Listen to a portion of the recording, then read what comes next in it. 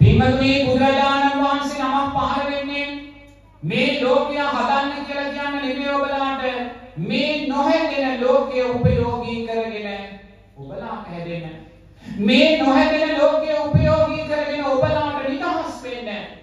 මේ නොහැදෙන ලෝකය උපයෝගී කරගෙන සාරිපුත්ත මහෝත්තමයන් වහන්සේ නිදහස් වුණා. යසෝදරා උත්තමාගේ නිදහස් වුණා. රාහුල උත්තමයන් නිදහස් වුණා. අපි මොකද කරන්නේ? අපි ලෝකේ හරි වැරදි හොයනවා. අහවල් භික්ෂුව හොඳයි කියලා ඒ භික්ෂුවට ඇලෙනවා. අහවල් භික්ෂුව වැරදි කියලා එයාට ගැටෙනවා අහවල් ස්වාමීන් වහන්සේ හොඳයි. අහවල් ස්වාමීන් වහන්සේ නරකයි. අහවල් ස්වාමීන් වහන්සේ සිල්වත් අහවල් ස්වාමීන් වහන්සේ දුසිල්වත් කියලා අපි මොකද කරන්නේ? සංඝයා තුලින් ඇලී ගැටි නැති කරගන්න. හිමතුනි අපි දැන් මේ කොහාටද යන්නේ? අපි මේ සම්මාදිට්ඨියෙන් ඇතුල් වෙලා අපි සම්මා සමාධියට එන්න ඕනේ. අපි සම්මා දිට්ඨියෙන් ඇතුල් වෙලා සම්මා සමාධියට එන්න නම් පින්වතුනි මේ ඇලීම් ගැටීම් පැහැර කරන්න ඕනේ. බුදුරජාණන් වහන්සේ අපිට සංඝයාගේ මේ ගුණයන් පනවන්නේ ඒ ගුණයන් තියෙනවද කියලා හොයලා ඇලෙන්න ගැටෙන්න නෙමෙයි. ඒක තේරුම් ගන්න. සංඝයා තුලින් පින්වතුනි ඔබ සෝවාන් ඵලයටපත් වෙන්න. සංඝයා උපයෝගී කරගෙන ඔබ සම්මා සමාධිමත් හිතක් ඇති කරගන්න. දැන් මේ ආර්ය ශ්‍රාංගික මාර්ගය අපි යොමු කරන්නේ අවසානයේ සම්මා සමාධියට. අපි මේ විමුක්තිය කරා යන්න නම් අපි මේ ආර්ය ශ්‍රාංගික මාර්ගයේ සම්මා සමාධියට එන්න ඕනේ. දෙවි අපි කොහොමද සම්මා සමාධියට එන්නේ? කැමති ස්වාමීන් වහන්සේට ඇලෙනවා අකමැති ස්වාමීන් වහන්සේට ගැටෙනවා. ඒ කැමැත්තත් අකමැත්තත් දෙක තුල තියෙන තෘෂ්ණාව යම් තැනක තෘෂ්ණාව තියෙනවා නම් එතන තියෙන්නේ දුකයි. අවසානයේ අපි සංඝ සමාජය උපයෝගී කරගෙන දුකයි ජීවිතයට අරන් තියෙන්නේ. ඒ නිසා බුදුරජාණන් වහන්සේ මේ උතුම් ගුණයන් පනවන්නේ පින්වතුනි සංඝයා උපයෝගී කරගෙන ඔබ නිවැරදි වෙන්න. සංඝයා උපයෝගී කරගෙන ඔබ නිදහස් වෙන්න. සංඝ සමාජය නිවැරදි කරන්න නෙමෙයි ඔබලාට මේ ගුණයන් පනවලා තියෙන්නේ. සංඝයාට නිවැරදි වෙන්න බුදුරජාණන් වහන්සේ අපිට විනය කාරණා 220ක් අධිකරණයක් පනවලා තියෙනවා. ඒ අපේ නිවැරදිභාවය නිසා. නමුත් බුදුරජාණන් වහන්සේට පුළුවන්කමක් ලැබුණේ සංඝ සමාජය නිවැරදි කරන්න. සංඝ සමාජයේ මේ සියලු විනය කාරණා බුදුරජාණන් වහන්සේ පනවන්නේ බුදුරජාණන් වහන්සේ ජීවමාන වෙද්දී. සතර පරාජිකා වෙද්දී. සංඝාදි ශේෂ කියන ධර්මයන් පැනෙති ජීවමානව සිටින්නේ බුදුරජාණන් වහන්සේ. ඒ කියන්නේ බුදුරජාණන් වහන්සේ ජීවමානව සිටිද්දී මෙවැනි බරපතල වැරදි කළා වූ සංඝයා හිටියා. එහෙනම් අද අපි සංඝ සමාජයේ වැරදි කළ යුතු නැහැ. සංඝයාගේ නිවැරදිවීම සංඝයා සතු දෙයක් වෙනතුනි.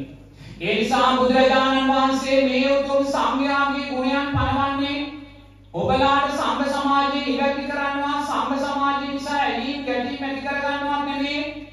සංඝයා කියන අර්ථයෙන් සංඝයා දකිමින් සංඝයාට සිව්පසෙන් උපස්ථාන කරමින් සංඝයා උපයෝගී කරගෙන ඔබ සම්මා සමාධියට යන්න. ඔබ සම්මා සමාධියට යන්න.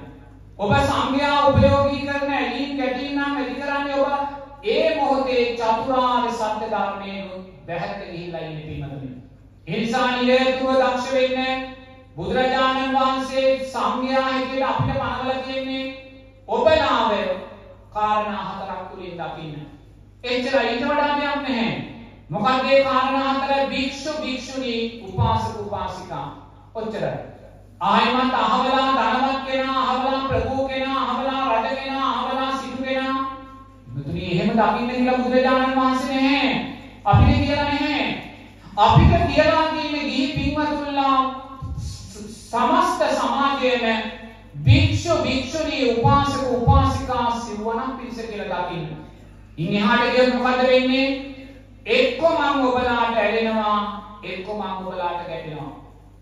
අහවලා මෙහෙමයි අහවලා අරේමයි අහවලා සල්ලි දින කෙනා අහවල් දුප්පත් කෙනා ඒවා හොයන්න ගියොත් එක්ක මං ඇලෙනවා එක්ක මං ගැටෙනවා ඔබලා නිසා මම නිවන අහිමි කරගන්නවා අන්න පින්වතුනි අපිට පනවලා තියෙන තැන ඒ නිසා මම ඔබලාම දකින්නේ භික්ෂු භික්ෂුණී උපාසක උපාසිකා කියන සිව්වන පිරිස ඇටියටයි ඉන් ඔබට මම එක සිතුවිල්ලක්වත් අරන් යන්න මගේ හිතට ඉඩ දෙන්නේ නෑ. ඇයි? මම උත්සාහ කරන්නේ ඔබලා උපයෝගී කරගෙන මම සෝවාන් ඵලයටපත් වෙන්න. ඒක තේරුම් ගන්න. මම උත්සාහ ගන්නේ ඔබලා උපයෝගී කරගෙන මම සම්මා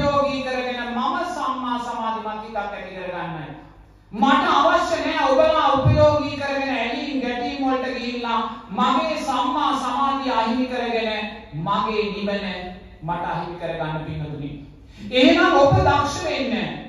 ඔබලා දක්ෂ විය යුතුයි සංඝයා උපයෝගී කරගෙන ඔබේ නිවන ඔබ අහිමි කරගන්න එපා. ඒ කියන්නේ සංඝයා තුල මොන චර්යාවන් මොන හැසිරීම් තිබ්බත් ඔබට ඒක අදාළ නැහැ. සංඝයා සුපටිපන්නයි, උජුපටිපන්නයි, නායපටිපන්නයි, සාමීචපටිපන්නයි මේ ලෝක ධාතුවේ ශ්‍රේෂ්ඨ පුණ්‍ය කෙතයි. පින්වතුනි, ඒ ආර්ථයන් තුළට එන්න. සංඝයා දකින්නේ ඔබේ සිත ධර්මයේ උපේක්ෂාවට යන්න ඕනේ. ධර්මයේ උපේක්ෂාවට අනේ මේ නම් බුදුරජාණන් වහන්සේගේ ශ්‍රාවකයෙක් මේ නම් සුපටිපන්න මේ නම් උත්පටිපන්න ගුණයයි. ඒවා තියෙනවද කියලා ඔබ හොයන්න යන්න එපා. බුදුරජාණන් වහන්සේ ඔබට පැනෙන්නේ නැහැ. ඔබ හොයන්න ගියොත් ඔබ සංඝයා නිසා ඔබේ සම්මා සමාධිය වහිමි කරගන්නවා. ඒ කියන්නේ සංඝයා නිසා ඔබ නිවන අහිමි කරගන්නවා. ඒ නිසා ඔබ දක්ෂ වෙන්න සංඝ සමාජයේ අපි ලෝකයේ තුල තියලා අපිව උපයෝගී කරගෙන ඔබ නිදහස් වෙලා යන්න. බුදුරජාණන් වහන්සේගේ ශ්‍රාවකයෝ හැටියට අපි ඔබලාම උපයෝගී කරගෙන ඔබලා කියලා අපි නිදහස් වෙන්නයි අපි උත්සාහ කරන්නේ. නමුත් බුදුරජාණන් වහන්සේ සාමීච පටිපන්න ගුණයෙන් අපිට සංග්‍රහ කරන්න කියලා පනබල තියෙනවා. ඒ නිසා ඔබලා දක්ෂ විය යුතුයි. ඒ සාමීච පටිපන්න ගුණේ ශක්තිය ජීවිතේට අරගෙන අපි දෙගොල්ලන්ම එතර වෙන පින්වතුන් බවට පත් වෙන නතර වෙන පින්වතුන් බවට නෙමෙයි පින්වතුනි.